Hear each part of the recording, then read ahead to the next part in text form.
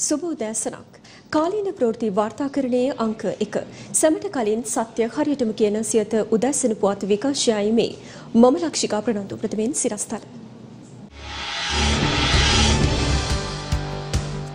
කාබනික පොහොර භාවිතය පිළිබඳ රාජ්‍ය ප්‍රතිපත්තියේ කිසිදු වෙනසක් නැහැ. රජය අවධාරණය කරයි. කොවිඩ් මැද්දේ හිස ඔසවන ටීනියා. සෞඛ්‍ය පද්ධතිය බරපතල අවධානමක සජිත් කියයි. කාබනික පොහොර භාවිතය පිළිබඳ රාජ්‍ය ප්‍රතිපත්තියේ කිසිදු වෙනසක් නැති බව රජය අවධාරණය කරනවා. ජනාධිපති මාධ්‍යංශය නිවේදනයක් නිකුත් කරමින් පවසන්නේ රසායනික පොහොර ආනයනය කිරීමට කිසිදු අවසරයක් ලබා දී නැති බවයි. සංකටක කිහිපයක් අඩංගු පොහොර ආනයනය සඳහා අවසර ලබා දෙමින් නිකුත් කරන ලද ගැසට් නිවේදනයක් සම්බන්ධයෙන් සමාජයේ දැඩි කතාබහක් යළිත් නිර්මාණය වුණා. පාර්ලිමේන්තු විපක්ෂයේ මන්ත්‍රීවරුන් චෝදනා කර සිටියේ කාබනික පොහොර ගෙන්වන බවට මුවාවී රසායනික පොහොර ගෙන්වීමට රජය කටයුතු කරන බවත් රජය ඒ සඳහා තමන් විසින්ම නිකුත් කරන ලද ගැසට් පත්‍රය රිවස් කර ගැනීමක් සිදු කර ඇති බවටයි. කෙසේ වෙතත් ආනයන අපනයන පාලන දෙපාර්තමේන්තුවෙන් අප කළ විමසීමකදී එහි නිලධාරීන් අවධාරණය කර සිටියේ රසායනික පොහොර ගෙන්වීමට කිසිදු අවසරයක් ලබා දී නොමැති බවයි. සියලුම ජාතික පුවත්පත්වලත් ප්‍රධාන සිරස්තලයක් බවට පත්ව තිබුණේ මෙම ගැසට් පත්‍රය පිළිබඳවයි. මෙම ගැසට් පත්‍රය සම්බන්ධයෙන්ද දැඩි ආන්දෝලනාත්මක තත්ත්වයක් රට තුළ උද්ගත වෙද්දී එම ගැසට් පත්‍රය පිළිබඳව ජනතා විමුක්ති පෙරමුණ සහ ගොවි සංවිධාන දැක්වූයේ මෙවන් අදහසක්. ආණ්ඩුව කිව්වේ රිවර්ස් කරන්නේ නැහැ. ගත්ත තීන්දුව ආපස්සට අකුලන්නේ නැහැ. දැන් ආණ්ඩුවට සිද්ධ වෙලා තියෙනවා හොර රහසේ යටින් යටින් ටිකින් ටික දැන් ආපහු රසායනික පොහොර වලට මාරු වෙන්නේ. එහෙනම් දැන් අපිට පේනවා ආණ්ඩුව ඒ සඳහා අවසර දීලා තියෙනවා. ජනාධිපතියට දැන් කට ඇරලා කියන්න ඕනේ මොකද්ද මේ කරන්නේ කියලා. උත්තරයක් හොයන්න උත්තරයක් දෙන්න නැත්තම් මේට වැඩිය අර්බුදයකට රටේ කුෂිකර්මාන්තයපත් වෙනවා, ගොවියපත් වෙනවා, රටපත් වෙනවා ඒක වළක්වන්න බෑ. ආණ්ඩුව නැවත පොහොර ගෙන්නන්න අයින් දක්කලේට නිකුත් කරනවා. ඒ පොහොර රසායන පොහොර නෙමෙයි කියලා කියනවා. හැබැයි ඒවා සාපනික පොහොරක් නෙමෙයි. මේ පොහොර ඇත්තටම මොනවද කියලා ආණ්ඩුව පැහැදිලි කරන්න ඕන. මේ ගෙන්නන්නේ අනිත් පැත්තෙන් තවත් ක්‍රමයකට රසායන පොහොර. කරුණාකරලා කොන්ද කෙලින් තියාගෙන තමුන්ට ඩොලර් ප්‍රශ්නයක් තියෙනවා නම් ඒක ඇත්ත කියන්න. ඒකෝර මේක ජනතාව ඉවසයි. පැහැදිලි ඇත්ත නිර්වුල් ප්‍රකාශයක් ආණ්ඩුව කරන්න ඕන. මේ පිළිබඳව දක්වමින් ජනාධිපති මාධ්‍යංශයේද නිවේදනයක් නිකුත් කර තිබෙනවා. එම නිවේදනය දැක්වෙන්නේ දේශීය කෘෂිකර්මය සඳහා රසායනික පොහොර ආනයනය කිරීමට කිසිදු අවසරයක් ලබා දී නැති බවයි. දේශීය කෘෂිකර්මාන්තය සඳහා කාබනික පොහොර පමණක්ම භාවිතා කළ යුතු බවට ජනාධිපතිවරයා විසින් ගන්නා ලද ප්‍රතිපත්තිමය තීරණේ කිසිදු වෙනස්කමක් සිදුකොට නැති බවද ඉදිරියේදීද එම තීරණයේ කිසිදු වෙනසක් සිදු නොකරන බවද රජය අවධාරණය කරන බවයි ජනාධිපති මාධ්‍යංශය නිකුත් කළ නිවේදනයේ දැක්වෙන්නේ. මීට අමතරව නයිට්‍රජන් නිස්සාරණ කාබනික හා කනිජ ගණයේ පොටෑසියම් ආනයනය කළ හැකි අතර ඒවා රසායනික පොහොර ලෙස වර්ග නොකෙරෙන බවත් ජනාධිපති මාධ්‍යංශයෙන් නිකුත් කළ නිවේදනයේ වැඩිදුරටත් දැක්වෙනවා. දිලිරයකින් බෝවන චර්ම රෝගයක් වන ටීනියා ව්‍යක්ත වීමේ අවධානමක් පවතින බව වාර්තා වනවා. පසුගිය වසර 3ක පමණ කාලයක සිට ටීනියා දිලීර රෝගය අප රට තුල පවතින බව චර්ම රෝග විශේෂඥ වෛද්‍ය දීපානි මුනිදාස් මහත්මිය පවසනවා. ටීනියා ඇත්තෙන්ම ඒක දිලීර රෝගයක්. අවුරුදු ගණනාවක් තිස්සේ ලංකාවේ විතරක් නෙමේ ලෝකේ පුරා තිබෙන දිලීර රෝගයක් සම මතු පිට වැවෙන හුගිය. අවුරුදු 3-4 වගේ කාලයේ ඇතුළත ක්‍රමක්‍රමයෙන් මේ ටීනියා දිලීර රෝගයේ වාර්තාවන ප්‍රමාණය ක්‍රමක්‍රමයෙන් වැඩි වෙන සුළු ගතියක් පෙනෙන්න තියෙනවා. ගොඩක් වෙලාට ස්පර්ශය මගින් තමයි බෝ වෙන්නේ. සමහර ලාවට එක තැන වාසය කරන කෙනෙක්ගෙන් නැත්නම් එකට වැඩ කරන අයගෙන් බෝ වෙන්න පුළුවන්. මේ සැරේ මේ ටීනියා රෝගය බහුල වීම තුල අපි දකිනවා ගොඩාක් වෙලාවට කුඩා ළමීන්ගේ ඇඟේ ඇත්තටම සැහෙන පැල්ලම් සහිතව එන්න පුළුවන්. ආසාදිතෙක් කෙනෙක් ගෙදර ඉන්නවා නම් එයාගේ ඇඳුම් වෙනම සෝදන්න ඕනේ. ටීනියා රෝග ලක්ෂණ තියෙනවා කියලා සැක හිතෙනවා නම් එම චර්ම රෝග සායනයකට යොමු වෙලා හරියාකාරව ප්‍රතිකාර කළා තමන්ට තියෙන ප්‍රශ්නයෙන් මගහරවා ගන්නත් පුළුවන්. ලංකාව පුරා පැතිර ගිහිලා ඒක විශාල සෞඛ්‍ය ගැටලුවක් වෙන එක වළක්වා ගැනීමටත් ඔබගේ වගකීම ඉටු කරන්නත් පුළුවන් වෙනවා. කොවිඩ් වසංගතයත් සමග මෙරට සමස්ත සෞඛ්‍ය පද්ධතියම බරපතල අවධානමකට ලක් ඇතැයි විපක්ෂ නායක සජිත් ප්‍රේමදාස මහතා පවසනවා. ඔහු මේ බව ප්‍රකාශ කළේ විපක්ෂ නායක කාර්යාලයේදී. මේ මොහොත වන විට අපේ රටේ රෝහල් පද්ධතිය තුළ තාමත්ම අභියෝගාත්මක භයංකාර තත්ත්වයක් නිර්මාණය වෙමින් පවත. රෝහල් පද්ධතියේ දැඩි සත්කාරකක ඇනම් මේ වෙන විට සියල්ලක්ම පිරි. ඒ වගේම කෝවිඩ් වාට්ටු පිරි. සාමාන්‍ය වාට්ටුත් පිරි. දැන් මේ තත්ත්වය තුළ සෞඛ්‍ය පද්ධතිය තාමත්ම දැඩි පීඩනයකට ලක් වෙලා. සෞඛ්‍ය කාර්ය මණ්ඩල දැඩි අසහනයකට පත් වෙලා. මේ කාලය තුළ සිදුවිය යුත්තේ ඩෙල්ටා වේරියන්ට් එකක් හරහා නිර්මාණය වුණයි කියන මේ රැල්ල කොහොම හරි නතර කරන්න. විශේෂයෙන්ම මම මතක් කරන්නට ඕන විවිධ වෛද්‍ය සංගම් විවිධ වෛද්‍ය විශේෂඥ බොහොම පැහැදිලිව කියලා කියන මේ තත්ත්වය මගහරවන්නට ඉක්මම් පියවර ගත යුතුයි කියලා. Association of Medical Specialists අනතුරු හැඟවීමක් කරලා තියෙනවා. තත්ත්වය හොඳ නැහැ. තත්ත්වය බරපතලයි. ඔක්සිජන් වල හිඟයක් ඇතිවන්නට ඉඩ තියෙනවා. ඒ වගේම ඔක්සිජන් ලබා දීමේ ක්‍රමවේදයන් වල ඒ උපකරණ වල හිඟයක් තිබෙනවා. මේ තත්ත්වය තුළ රජය හිතන්නට ඕන. මේ රටේ මරණ සංඛ්‍යාව වැඩි වෙන මොහොතක ආසාදිතින් සංඛ්‍යාව ඉහළට යන මොහොතක පනවා තිබෙන නීති රීති රෙගුලාසි ඉවත් කරනවාද එහෙම නැතුව මේ රැල්ල මැඩ පවත්වනකම් ශක්තිමත් රෙගුලාසි දමලා කෝවිඩ් ව්‍යාප්තිය අවම කරන්නට කටයුතු කරනවද කියන කාරණා. හාල් පොල් සීනි ඉන්ධන ගෑස් මුදල් වගේ අච්චු ගහන්න බැරි බව පාර්ලිමේන්තු මන්ත්‍රී ගයන්ත කරුණාතිලක මහතා පාර්ලිමේන්තුවේදී ආණ්ඩුවට මතක් කළා. ජනාධිපති ගෝඨාභය රාජපක්ෂ මහතාද පාර්ලිමේන්තුවට පැමිණ සිටියා. අපරාධ පරීක්ෂණ දෙපාර්තමේන්තු බහරේ සිටි පාර්ලිමේන්තු මන්ත්‍රී රිෂාඩ් බදියුදීන් ඊයේ පාර්ලිමේන්තුවට පැමිණ සිටියා. මෙහෙකාර සේවයේ වයස් සීමා 16 සිට 18 දක්වා වැඩි කිරීමට පියවර ගන්නා බව අමාත්‍ය නිමල් සිරිපාල ද සිල්වා මහතා පාර්ලිමේන්තුවේදී ප්‍රකාශ කළා. මේ අතර සේවක අවම වැටුප පිළිබඳ පනත් කෙටුම්පත සංශෝධන රහිතව පාර්ලිමේන්තුවේදී සම්මත වුණා.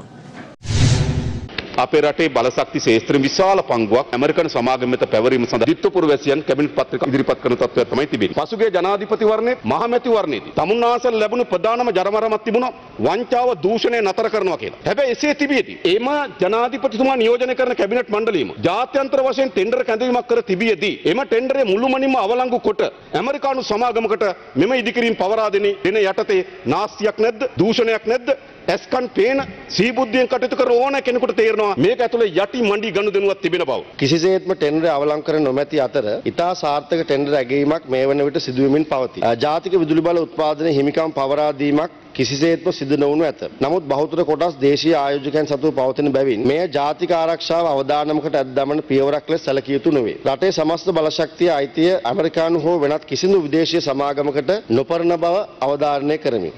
අපේ රිෂාඩ් දින 100කට වැඩි ප්‍රමාණයක් ඩීఓ ගහලා රදිනු නියෝග යටතේ ඕවින් ඕට චෝදනා පත්‍රයක් ඉදිරිපත් කරලත්ද මේක අපි දෙගොල්ලන්ට බලපානවා. කවදාරි අපි ආණ්ඩු කරනකොට අපි අපිටත් දියෝ ගන්න පුළුවන්. පාර්ලිමේන්තුවේ ගෞරවය මන්ත්‍රීවරුන්ගේ රැකගන්න දැනගන්න ඕනේ. මන්ත්‍රීවරේ කත්තර කුරු ගත්තාම ඔබතුමාත් දැනුම් දෙන්න ඕනේ මොකද හේතුව කියලා. මොකද හේතුව? පරීක්ෂණ සඳහා අරගෙන තියෙනවා. පරීක්ෂණ වලට මිනිස්සු අහලා තියන්න බෑ. තමුන්නාසරම මතක් කරනවා ඉංගලන්තේ පාර්ලිමේන්තුවේ ඇමතිවරයෙක් කියලා නෑ. අවුරුදු 13 ළමයිව දූෂණය කරන්න.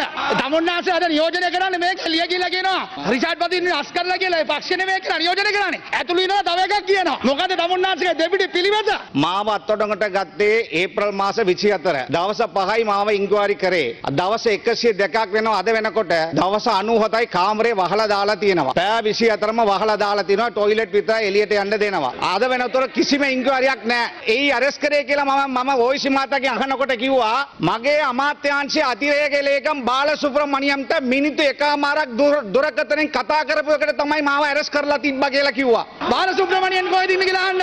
බාල සුබ්‍රියන් රට බැනලා මේ අතර සේවකින්ගේ ජාතික අවම වේතන සංශෝධන පනත් කෙටුම්පත විවාදයට ගැනීමද පාර්ලිමේන්තුවේදී සිදු වුණා. ආසන්න අවුරුදු 6ක් පෞද්ගලික අංශයේ සේවකයන්ගේ අවම වැටුප වැඩි කළා නැහැ. ගෘහස්ත සේවකයන් මේ අය පිළිබඳව නීතියක් අපේ රටේ නැහැ. අන්තරාදායක රැකියා ලැයිස්තුවට ගෘහස්ත සේවකයන් ඇතුළත් කරලා ඒ ගැසට් පත්‍රය මුද්‍රණය කිරීමට අවශ්‍ය අවසරය පාර්ලිමේන්තුවේ ලබා ගැනීම සඳහා මම අද ඒක බාර දීලා තියෙනවා. අපිට අවුරුදු 16 වයස 18 දක්වා අපිට වැඩි කරන්න පුළුවන්කම එයින් ලැබෙනවා. මේ රටට අභාග්‍ය උදා කරපු සෞභාග්‍ය දැක්මේ සුරංගනා කතා ගොඩක් තියෙනවා. ඒක එක තැනක මෙන්න මෙහෙම තියෙනවා. ඒ සහ පෞද්ගලිකංශයේ සේවකීන්ට රැකියා අහිමි වන අවස්ථාවකදී නැවත රැකියාවක් සොයාගන්නා තෙක් මාසික දීමනා රක්ෂණ ක්‍රමයක් හඳුන්වා දෙනු ලැබේ කියලා. රට පුරා ලක්ෂ සංඛ්‍යාත පිරිසක් පෞද්ගලිකංශයේ රැකියා අහිමි වෙලා තිබෙනවා. දැන් මේ මිනිස්සුන්ට තියෙන්නේ Tamanගේ ඉහට Tamanගේ අත විතරයි. රක්ෂණ ක්‍රමයේ තියෙන්නේ මේ පොතේ විතරයි. වැටුප් විෂමතා කඩිනමින්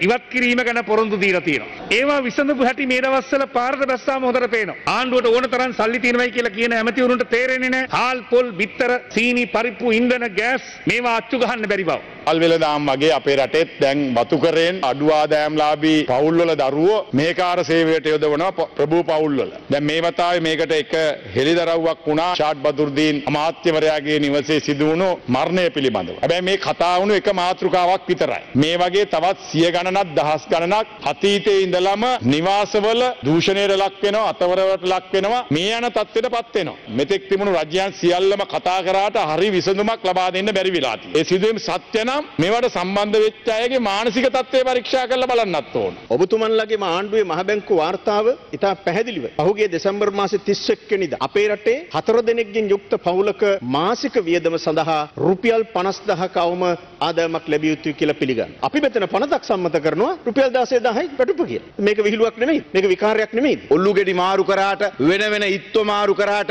මේ ප්‍රශ්නෙට උත්තර හොයන්න බෑ. මේ රටේ ජනතාව එකතු වෙලා සාප කරනවා මේ කාලකන්ණි ආණ්ඩුවට මේ ජනතාව අනුතරේ හෙල්ලලා තියෙන එක ගැන. අද ඔය කතා කරන ගොඩක් අය එදා කන් වහගෙන හිටියේ. එදා රාජ්‍ය සේවකයාගේ සාක්කුවට බැහැලා ඒ සාක්කුවට මුදල් දානවා කියලා යට සාක්කුවෙන් මුදල් ඇදලා අරගත්තා. පහුගිය ආණ්ඩුව වතු කම්කරුව වෙනුවෙන් හරියට කටයුතු කළා නම් අර අවුරුදු 13 14 දරුවන්ට කොළඹ සේවයට එන්න වෙන්නේ නැහැ. අපි ජනතාවගේ ආදායම වැඩි කරලා මිලදී ගැනීම හැකියාව වැඩි කරලා තියෙන තමයි මහින්ද රාජපක්ෂ මහත්තයා දැන් සැපද කියලා. මං අහනවා එතුමගෙන් දැන් තමුන්නාන්සට ඒ කියාපු ප්‍රකාශය පිළිබඳව ලැජ්ජ හිතෙන්නේ නැද්ද? මේ රටේ ඉන්න පාලකයෝ ටික රටත් කාලා ඉවරයි ජනතාව කෑම කාලත් ඉවරයි. සිප්කිරි පෙව් මූසලෙන් රජ මැදුරේ අපේ ගුරුතුමා අද තාමත් මහපාරේ. තුනෙන් දෙකේ බලයක් සහිත ආණ්ඩුවක් හැදූ තමන්ට කොන්වීමට අවශ්‍ය නැති බව අමාත්‍ය මහින්ද අමරවීර මහතා පවසනවා. ආණ්ඩුවේ දෝෂ ඇත්නම් හෙළිදරව් කිරීමේ වගකීමද දරන බව කොළඹ පැවති මාධ්‍ය හමුවකදී අමාත්‍යවරයා ප්‍රකාශ කළා. අනුරකුමාර දිසානායක මැත්තුමා තුමා කියන රජයේ දිනක ආදායම කෝටි 400ක් වෙද්දි දවසක වියදම කෝටි 565ක් වෙලා. ඉතින් මේ தත්ත්වය පිළිබඳව එතුමත් අවධානය යොමු කිරීම පිළිබඳව අපි සතුටු වෙනවා වගේම සමස්ත විපක්ෂයාගෙනුත් ඉල්ලා සිටිනවා මේ தත්ත්වයන් තේරුම් අරගෙන විවිධ ශේෂ්ත්‍ර පාරට එවන්නේ නැතුව අපි අවධානයෙන් කටයුතු කිරීමේ අවශ්‍යතාවය තිබෙනවා. තුනෙන් දෙකේ බලයක් තියෙන ආණ්ඩුවක් හදලා තියෙන්නේ අපි. ඒ නිසා අපි හදලා අපි පැත්තකට වෙන එක නෙවෙයිනේ වැඩේ. මේ ආණ්ඩුවේ වැරදි තියෙනවා නම් ඒවා ඉලිතරව් කිරීමේ ප්‍රශ්නයක් නැහැ. රාජ්‍ය සේවය අරියම් ආණ්ඩුවට පාඩුයි. ලයිට් බිල වැඩි වෙනවා වතුර බිල වැඩි වෙනවා. ආණ්ඩුවටත් ඒ පැත්තෙන් බැලුවොත් එහෙම හිතන්න පුළුවන්. ඒ නිසා ජනතාවගේ යහපත වෙනුවෙන් තමයි රාජ්‍ය සේවය විවෘත කරලා තියෙන්නේ. ඉරොත්තා පැවැත්වීම ප්‍රශ්නයක් නෑ. අපි පාලනය කරන්නවත් වර්ධනය කරන්නවත් නෑනේ. කඳුළු ගෑස් ගහන්නත් ඕනේ නෑ. වෙඩි තියන්නත් ඕනේ නෑ. වතුර ගහන්න ඕනත් නෑ. සෞඛ්‍ය ක්‍රමවේදයන්ට අනුව මේක කරා නම් කොච්චර වැදගත්? පාර්ලිමේන්තු මැතිවරණ නීති ප්‍රතිශෝධන කාරක සභාව ස්ථාපිත කර ඇති බව මැතිවරණ කොමිසමේ සභාපති නීතිඥ නිමල් පුංචි හේවා මහතා ප්‍රකාශ කරනවා. මෙමකින් මෙරට මැතිවරණ ක්‍රියාවලිය ශක්තිමත් වන බවයි ඔහු පවසන්නේ.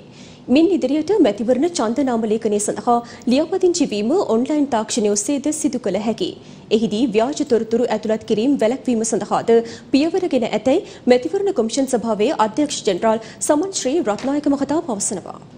මේ අත්‍යවශ්‍ය සේවාවල යෙදෙන බොහෝ පිරිස් සෞඛ්‍යංශය පවා ජනමාධ්‍යවේදීන්ට පවා විදේශගත සංක්‍රමණික සමයකයන් ඡන්දය ප්‍රකාශ කිරීමේ අවස්ථාව ලැබෙන්නේ නැහැ. මැතිවරණ ක්‍රියාවලිය තුළ සමබිමක් නැහැ. මේවා වෙනස් කළ යුතුය කියන කාරණයට මැතිවරණ කොමිසම සභාව කල්පනා කරා. දැන් අපි කතා කරාට වැඩන්නේ වෙනස් කරන්න ව්‍යවස්ථාදායක විසින් නීති සම්පාදනය කරන්න ඕන. ඒ සඳහා පාර්ලිමේන්තු මැතිවරණ නීති ප්‍රතිශෝධන කාරක සභාවක් පත් කරන්න අපි උත්සාහ කරා. අපිට සතුටුයි කියන්න ඒක දැන් පළදරලා තියෙනවා. ඒතර ඒක තුළ මේ කියන සියලු දෙනාම ඇතුළත් කර ගැනීම, සමබිමක්කේම මේ අධි විශාල මුදල් නාස්තිය නතර කර ගැනීම, කාන්තා නියෝජනය, තරුණ නියෝජනය ශක්තිමත් කිරීම මේ ආදී ඒ සියලු කාරණා පිළිබඳව මේ නීති ප්‍රතිශෝධන පාර්ලිමේන්තු කාරක සභාව හරහා ඒක ඉටු කරගන්න. දෙවැනි කාරණය තමයි කොමිසම සභාව දැක්. අද අපි ආරම්භ කරනවා මාර්ගගත ක්‍රමයේ යටතේ ලියාපදිංචි වීමේ ක්‍රියාවලිය. එතකොට මෙතෙක් අර ගියල් ගාන ගිහිල්ලා ඒ තොරතුරු අරගෙන ලියාපදිංචි කිරීමේ ක්‍රියාවලිය වෙනුවට ඕනම කෙනෙකුට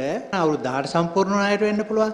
ලියාපදිංචි වෙලා ඉන්න තැනැත්තෙකුගේ ලිපිනය වෙනස් කර ගැනීම වෙන්න පුළුවන්. මේක මාර්ගගත ක්‍රමය හරහා කොහොමද කරගන්නේ කියන කාරණේ තමයි අපි අද ලබා දෙන්න බලාපොරොත්තු වෙන්නේ. ඒතකොට මේකත් එක්ක තව සම්බන්ධ වෙනවා. පාර්ලිමේන්තුවේ තරුණ ඡන්ද පිළිබඳව පනත සම්මත කරනවා 18 සම්පූර්ණ වුණ හැටිය ඔවුන්ට ඉල්ලුම් කරලා ඡන්ද නාම ලේඛනයේ නම අතුලත් කර ගැනීම ක්‍රියාවලිය. අපි බලාපොරොත්තු වෙනවා දැන් ඉස්සරහට ඕනෑම කෙනෙකුට යාපනයේ ඉන්න ලියාපදිංචි වෙච්ච ඡන්ද හිමියෙකුට කොළඹ කාර්යාලයෙන් මෙතුන කාර්යාලයෙන් ඒ ඡන්ද නාම ලේඛනේ පිටපතක් ලබා ගන්න පුළුවන් විදිය. ඔහු සේවය කරන්නේ මහනුවර නම් මහනුවර කාර්යාලයෙන් ඔහුට ඡන්ද හිමි නාම ලේඛනේ උපරිණය ලබා ගන්න පුළුවන් විදියේ ක්‍රියාදාමයක් ක්‍රියාද ආරම්භ කරනවා. එතන මේක දැන් අපි මෙහෙම දෙයක් තියෙනවා. අපිට තාක්ෂණය පාවිච්චි කරන වෙලාව තාක්ෂණයම වහලක් වෙලා ඉන්නත් බෑ. මොකද මේක නීතිමය ක්‍රියාවලිය. තාක්ෂණය තුළින් මේ ලබා දෙන දින පහසුව නිවැරදි ආකාරයෙන් පාවිච්චි කරනවා නම් කිසිම ගැටලුවක් නැහැ. හැබැයි ඒකේ යම්කිසි ආකාරයක වැරදි තොරතුරු හෝ වැරදි දේවල් තිබුණොත් අපිට සිද්ධ වෙනවා. ඔහු මේ මාර්ගගත ක්‍රමයට මේක ඇප්ලිකේෂන් යෙදුවපමණින්ම ඔහුගේ ඡන්ද හිමි නාම ලේඛනය නම ඇතුළත් කරනවා කියන සාතිකයක් දෙන්න හැකියාවක් නැහැ. මුහුදුපත් වූ එක්ස්ප්‍රස් පර්ල් නෞකාව අපේ මුහුදු සීමාවෙන් ඉවතට ඇදගෙන යාමට සිංගප්පූරු සමාගම ශ්‍රී ලංකා රජයට සහතික වී තිබෙනවා. මෝසම් කාලගුණික තත්ත්වය ඉවත් වූ වහම නැව ඇදගෙන යාමේ කටයුතු ආරම්භ කරන බවයි සිංගප්පූරු සමාගම පවසන්නේ. නෙදර්ලන්තයේ සහ සිංගප්පූරුවේ නෞකා සුන්බුන් ඉවත් කිරීමේ විශේෂඥයින් නාවික වාස්තු විශේෂඥයින් සහ සුන්බුන් ඉවත් කිරීමේ විශේෂඥයින් පිරිසක් විසින් මෙම දැනුම් දීම සිදු කර තිබෙනවා. එම කටයුතු සිදුවන තෙක් හානියටපත් නෞකාවේ භාරකරුවන් ලෙස එහි හිමිකරුවන් වන රිසෝල්ව් මැරීන් ආයතනය පත් කර ඇති බවයි රජයේ ප්‍රවෘත්ති දෙපාර්තමේන්තුව නිවේදනය කළේ. මේ වන විට නෞකාව පවතින ස්ථානයේ ජලය මතුපිට දිලිසෙන තෙල් පැල්ලමක් දක්නට ලැබෙන අතර රසායනික ද්‍රව්‍ය යොදා එම පැල්ලම ඉවත් කිරීම එය ඉබේම ජලයේ දියවීම වීමට ඉඩ හැරීමට වඩා ඉතා හානිකර විය හැකි බවට විශේෂඥයින් දැනුම් දී තිබෙනවා. කෙසේ වෙතත් ඩ්‍රෝන යානාවක් යොදා අදාළ ප්‍රදේශය අකණ්ඩව අධීක්ෂණය කරන බවයි රජයේ ප්‍රවෘත්ති දෙපාර්තමේන්තුව පවසන්නේ. සිදු වූ හානියට වන්දි ලෙස රජය අතුරු ඉල්ලීම් දෙකක් සිදු කර තිබුණා. ඒ අනුව අන්තර්ගෙවීමක් ලෙස රුපියල් මිලියන 720ක මුදලක් ලැබී තිබෙනවා. ඒ අතරින් දීවරින්ට වන්දි ගෙවීම සඳහා වෙන් කර ඇති මුදල රුපියල් මිලියන 420ක්. එම මුදල දිස්ත්‍රික් ලේකම් කාර්යාල හරහා බලපෑමට ලක් වූවන් අතර බෙදා හරිමින් සිටින බවයි රජයේ ප්‍රවෘත්ති දෙපාර්තමේන්තුව පවසන්නේ. මේ අතර මෙරටට ලැබෙන වන්ති මුදලින් සියයට හැත්තෑවකට නොඅඩු මුදලක් හානියට පත් සාගරය ආරක්ෂා කිරීමේ වැඩපිළිවෙල සඳහා යොදවන ලෙස රජය වෙත නියෝග කරන්න ඉල්ලා ගොනු කළ පෙත්සමක් සලකා බැලීම සඳහා ඊයේ දින නියම කෙරුණා. ඒ අනුව අදාළ මූලික අයිතිවාසිකම් පෙත්සම ලබන ඔක්තෝබර් 20 වෙනිදා කැඳවීමට නියමිතයි. සිංගප්පූරු දජය යටතේ යාත්‍රා කරමින් තිබූ මෙම නෞකාව ගිනි ගැනීමට ලක් වුණේ පසුගිය මැයි මාස 20 වෙනිදායි. ගින්න මැඩ පැවැත්වීමට නාවික හමුදාව ගුවන් හමුදාව සහ සමුද්‍රීය පරිසර ආරක්ෂණ අධිකාරිය ඇතුළු පාර්ශවයන් කටයුතු කළා. අපරාධකරුවන් සොයනවාට අමතරව අපේ පොලිස් නිලසුනකීන්ට දැන් මදුරුවොත් සොයන්න සිද්ධ වෙලා. ඩෙංගු කීටීන් හඳුනාගන්න පොලිස් නිලසුනකීන්ට විශේෂ පුහුණුවක් ලබා දී තිබෙනවා. මහනුවර නිලසුනක ඒකකයේ ජොනි සහ රොමාට මේ සඳහා විශේෂ පුහුණුවක් ලබා දී ඇති බවයි පොලිසිය පවසන්නේ.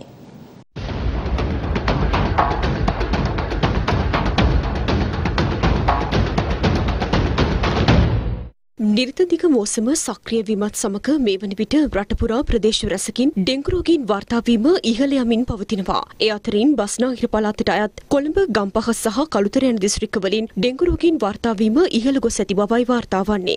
මේ වන විට ඩෙංගු රෝගය ව්‍යාප්ත වන අවදානම් දිස්ත්‍රික්ක 10ක් හඳුනාගෙන තිබෙනවා. එමෙන්ම ඩෙංගු රෝගයේ ප්‍රභේද හතරම ශ්‍රී ලංකාව තුළ පවතින බවද ඩෙංගු මර්ධන ඒකකය ප්‍රකාශ කළා. මේ අතර ජලය රැඳී ඇති ස්ථානවල මදුරු කීටින් සිටි දැයි සොයා බැලීම සඳහා පොලිස් සුනකින් යොදා ගැනීමට පොලිසිය පියවර ගෙන තිබෙනවා.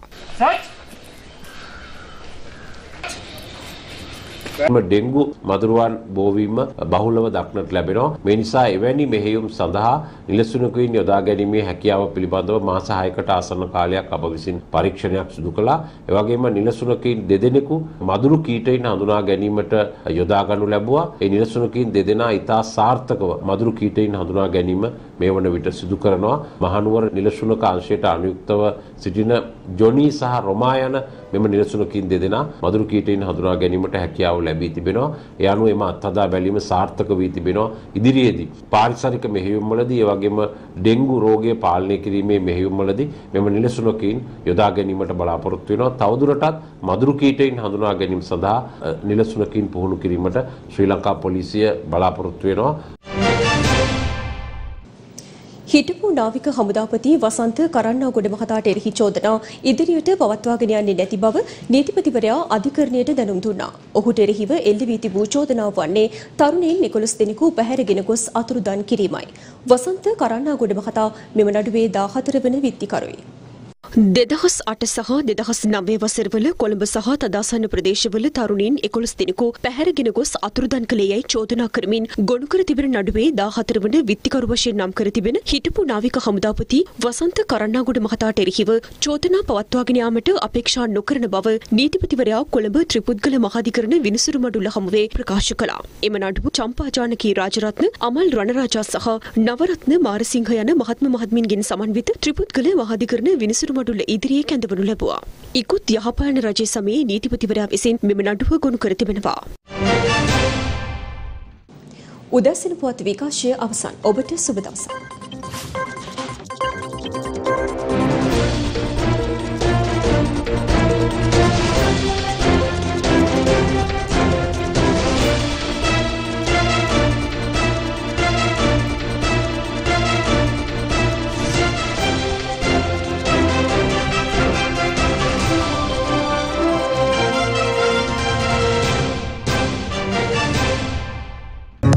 දිනපතා අලුත් වීඩියෝ සහ ප්‍රවෘත්ති නැරඹීමට ඉහත බටන එක ක්ලික් කර සියත TV සබස්ක්‍රයිබ් කරන්න.